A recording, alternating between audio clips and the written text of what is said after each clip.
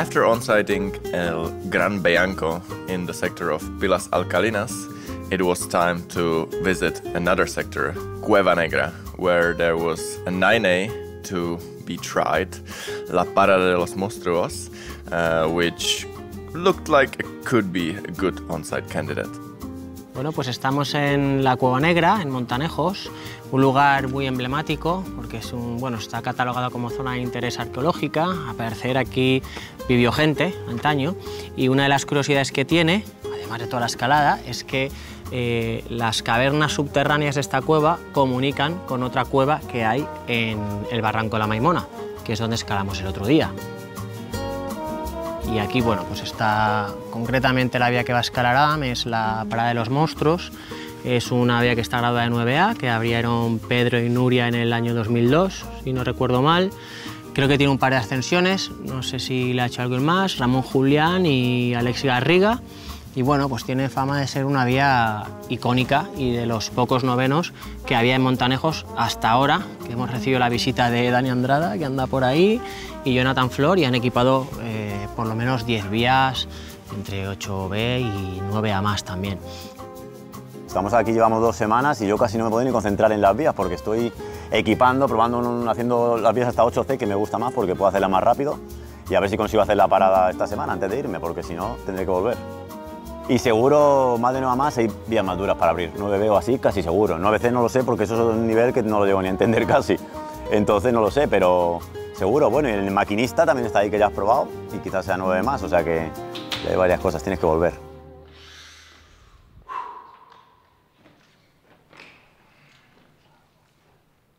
When I was previewing the route, uh, the lower part was quite visible.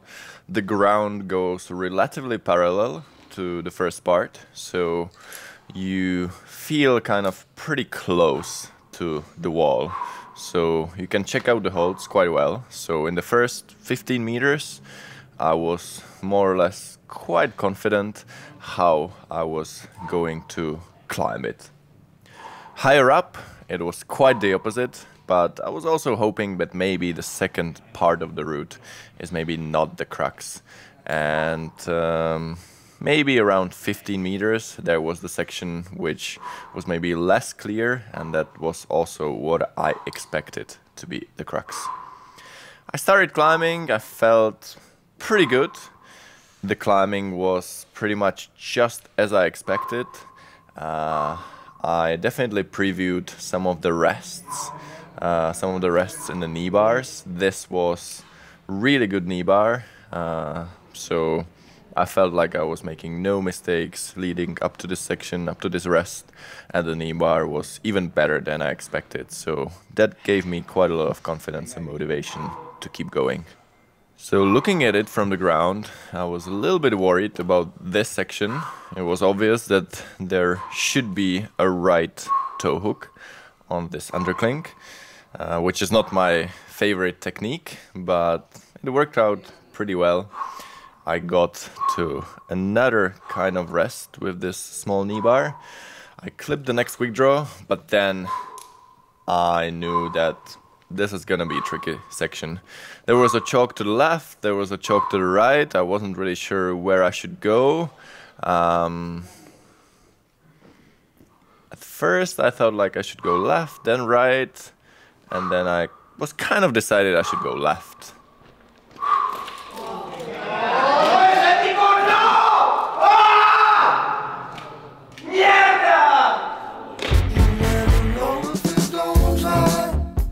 I was really motivated. I think I was climbing really well all the way up to the crux. And then I was a little bit hesitant. It's pretty obvious there are lots of different betas.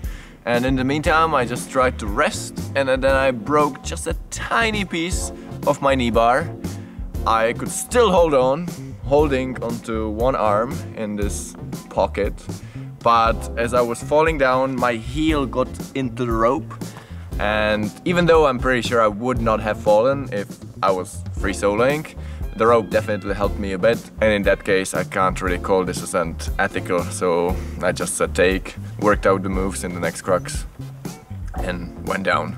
So definitely a bit of disappointment, but I think you need to stick to the ethical standards that uh, you have. And now it's gonna be the second try.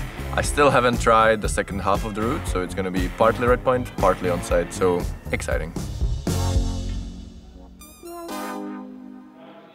So after one hour of rest, I was back on the wall, feeling definitely a bit less motivated than before my on-sight try, but still definitely wanting to get this route done. So in the end, for me personally, the easiest way to climb through this section was going all the way right, doing this kind of weird crossover move with kind of strange match next to my right hand, getting into this undercling and going left into yet another knee bar. I think this part is definitely the hardest for the on-sight try because there's just so many different options and it's really difficult to find the best one. On the other hand, if I didn't break this knee bar hold, I would definitely go to the left, which for me it felt definitely much harder uh, physically. But I think I would have a really good chance that I would not fall off, even if I went to the left. The real crux of the route is probably this section. Off this good knee bar, you do a couple of moves, which make you a little bit tired. Uh, on the, these side pulls, the feet are not the best. And then there are a couple of bad crimps, tricky heel hook, and doing this move is probably the linking crux. Once you get this one, you have a couple of okay moves leading up to yet another rest on this really nice tufa. And here I was also entering the section which I hadn't tried before, so all of the route starting from here was flash. So after I finished my on-sight try, I went through the route with Dani. He told me all the beta and then I decided to go for it. So I was told that the next section is uh, still quite hard, but it's not really the crux. So I definitely wanted to get a good rest in this knee bar. And this is quite also interesting. The next clip is not really super hard, but it takes a little bit away of the power from you. This is like the super weird move, which you when you have this weird left hand undercling, and the next hold is, is really far, especially with the lower foot that I did it. It's kind of like a move where you feel like it's really possible to miss it. But luckily I hit it perfectly, did the next move, clipped the next bolt, and I was safe. The feeling when you climb such a long route with good knee bars is like you never really get super pumped in your forearms, but it's like overall fatigue, which is a big factor uh, depending on how you are feeling on the route. So right here I didn't really feel super pumped, but yeah, it's like this overall fatigue, which kind of means like as long as you keep having good rest, you do a couple of moves, it's fine. But as soon as you do like a couple more moves, like without any rest, where it's more like revolving in power endurance and the intensity of the moves are is higher, then you quickly find out that you can get pumped really, really quickly. I would also like to note that the first ascent of this route was done by Ramon Julian, uh, who did it without knee pads, which definitely in this route makes a big difference. And I think, I think there is almost no doubt that this route without knee pads and without actually doing knee bars is more of a 9A plus. I think with a knee pads, it's probably like a soft end of a 9A. Uh, so it's pretty impressive ascent by Ramon Julian uh, some years ago. So this section is really fun, uh, going feet first. That's like kind of the last crux of the route, which is more like you know you shouldn't fall, uh, but the fact that I was flashing it definitely made it a bit spicy.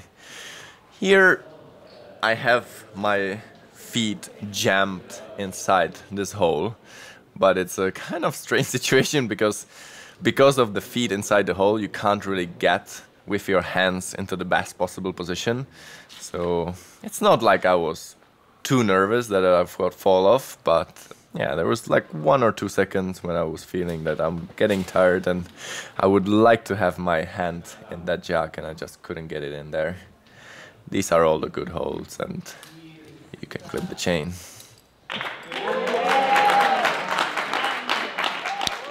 I think it was a good decision just to try the crux and get lower down. Like this, I was going through the main crux pretty pretty solid, but then it was still kind of adventure and still definitely exciting. Not knowing where to go, and uh, even though I got a little bit of beta from Jonathan and Dani, I think it was, uh, yeah, still had to definitely climb. I didn't feel like it was over. I had to be focused until the very end. Even though the higher you go, the easier it gets. So there was this free pitch project prepared by Hippie, but it's definitely important to note that the very first pitch of this route was bolted and climbed way back in mid 80s by Craig Smith, uh, an English climber who was there on the visit, climbing all of the first pitch with just a few bolts and giving it 7C, which is uh, pretty low grade for this pitch of climbing. And also, I think climbing with only five or six bolts is, is really bold.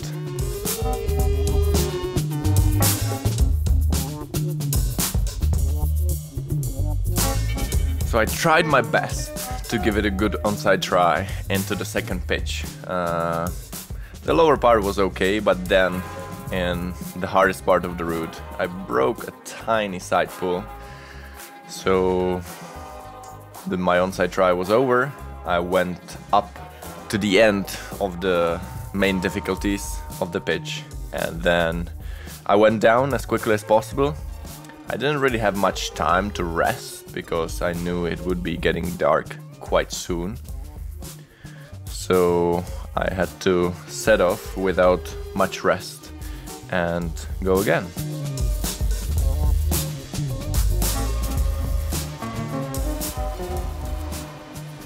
So I quickly climbed the first 15 meters up to the crux where I broke the hold in the previous try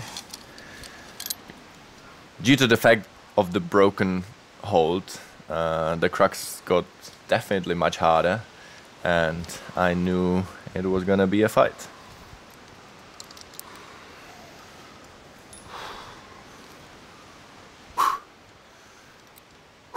So the crux revolves on this very slopey left-hand arete, almost non-existent right side pull. You have to slap up with your left hand up the arete. Then right hand is absolutely nothing. It's like two finger, six millimeter hold. Slap up the arete again and a very sketchy left foot hold. And you have to go up onto this OK crimp. Just an amazing sequence which resembled more mm. like climbing on the sandstone and not on limestone. Really cool to climb and then you continue on this really technical phase. You're in a vertical wall, but all of the climbing feels quite powerful for being on a vertical wall. And also the pump is definitely the factor, even though you are basically climbing a vertical wall. Uh, and also, as I didn't really have much time to rest, I was definitely tired here. And yeah, I definitely felt quite a bit of pressure. I really wanted to send this pitch, uh, and I knew that there was not enough light to to give it yet another try if I made a mistake.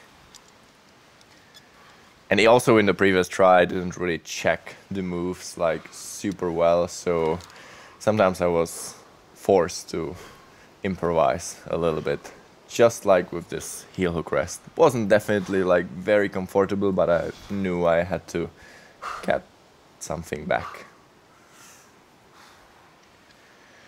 So right above my head there is uh, one more bolt that you clip and then you're facing the last crux of this pitch which is very interesting. Uh, you traverse to the left again to the arete, just to the left of the arete. There is a good crack, but all of this position feels kind of really weird. This right hand undercling or side pull makes you feel like you're going to go barn door and yeah I had a certain sequence in my mind that I wanted to use, but I just figured out that I was too pumped to to follow that way, so I had to improvise a little bit. But this heel hook definitely made a big difference. And here, I was thinking like, yeah, this this could be it. I should not fall anymore.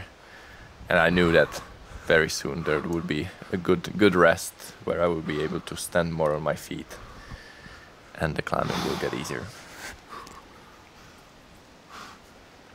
I really like when like the pitch has a certain crux and then there's always some top uh, section where you basically know you're not going to fall and you can really enjoy uh, the last meters of climbing. Buena, buena.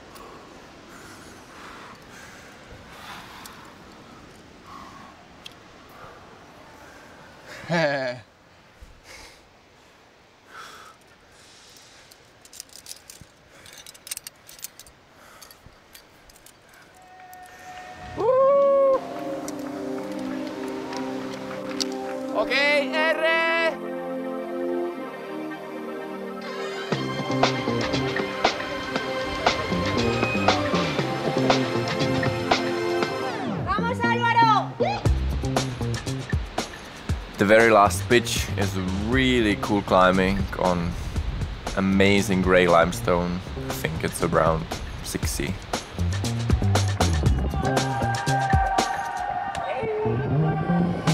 Grande, bro. and I was also told that there is something really cool uh, waiting for me on the top.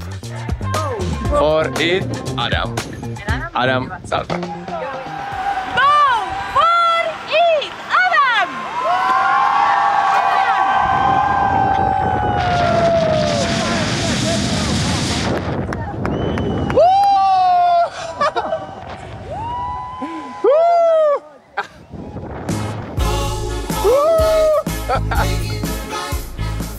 I have to admit, I was a little bit scared. I mean, I was really looking forward to it when they told me that this would be the surprise, like, wow, what the hell. But then you're standing on the edge and you're thinking about it and it like looks far. Uh, and now, all, with the experience of climbing, like all I was thinking about, will like the catch be like relatively hard? But then it was like super soft. It was like jumping into the trampoline and it was like super nice. I wish I could do it like many times in a row.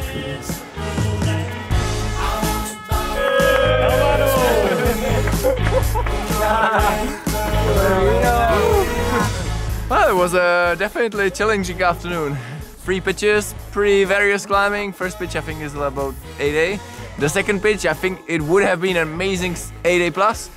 But in the cracks, I broke the uh, the crucial crimp, and uh, at first I felt like mm, maybe it's not even possible. But then I found some really, really tiny holes. Like you're having a really good arete, but it's like a really slick limestone, and this one is really bad. So I think it's like 7C boulder problem by itself, and then it's still quite resistant. So I think in total it's like AB plus. The last pitch is maybe 6C, and then the jump itself is I think it's impossible not to be scared when you're just standing there on the edge. You know, like everything is super safe, and but it takes some courage just to jump. But as soon as you start flying, it's, everything is perfect. Uh, hippie, que he traído mi eh, libro de las fotos. Ojalá que ¿Te gusta?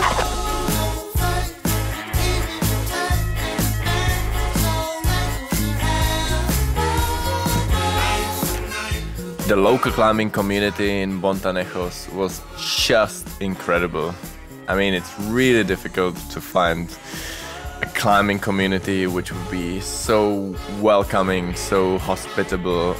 I mean, it was really cool to see how my visit was kind of stirring up the psyche of them. Um, it was definitely a few days in Montanejos that are impossible to forget about. Thanks for all the preparation, organization, and hopefully see you soon.